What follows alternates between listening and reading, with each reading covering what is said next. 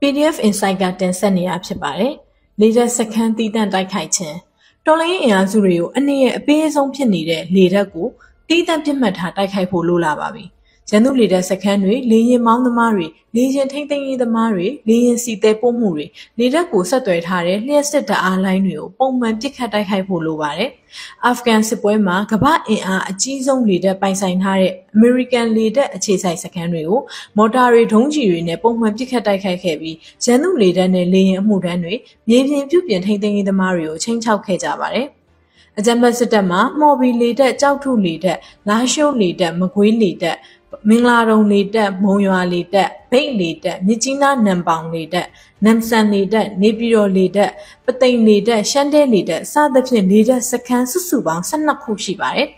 အဲ့ဒီစခန်းတွေအားလုံးကိုမြေပြင်ကနေဝင်းရံပြီးမော်တာတွေဒုံးကျည်ဒရုန်းတွေနဲ့ပုံမှန်ပစ်နိုင်မယ်ဆိုရင်ရန်သူလေကြောင်းဆွမ်းအားကိုမြေပြင်မှာပဲချိန်မှုန်းနှောက်ယှက်နိုင်ပြီဖြစ်ပါလိမ့်မယ်မော်ဘီပသိမ်နဲ့ရှမ်းတဲလေတက်၃ခုကလွဲပြီးကြံလေတက်စခန်းတွေအနီးအနားမှာတော်လိုင်းအင်အားစုအသီးသီးကလှုပ်ရှားလျက်ရှိနေတာကြောင့်အဲ့ဒီလေချောင်းပြစ်မှတ်တွေကိုပုံမှန်ပစ်ခတ်နိုင်မှာဖြစ်ပါတယ်။တော်လိုင်းအင်အားစုတွေထဲမှာလေချောင်းပြစ်မှတ်တွေကိုတီးသန့်ပုံမှန်တိုက်ခိုက်လျက်ရှိတဲ့အဖွဲ့ဆိုလို့ Brave Warriors for Myanmar BWM အဖွဲ့ကိုသာတွေ့ရှိထားပြီးတော့ဒီမကွေးလေတက်မှော်ဘီလေတက်မင်္ဂလာတုံလေတက်နေပြီးတော့အေလာလေတက်တထဦးလေတက်တို့တိုက်ခိုက်ထားပါတယ်အကယ်၍ BWM လိုမျိုးလေကြောင်းပြစ်မှတ်တွေကိုတီးတန့်တိုက်ခိုက်တဲ့အဖွဲ့တွေသာအများပြားပေါ်လာမယ်ဆိုရင်လေတက်ကိုမြေပြင်မှာပါနှောက်ယှက်ချေမှုန်းနိုင်မှာဖြစ်ပါတယ်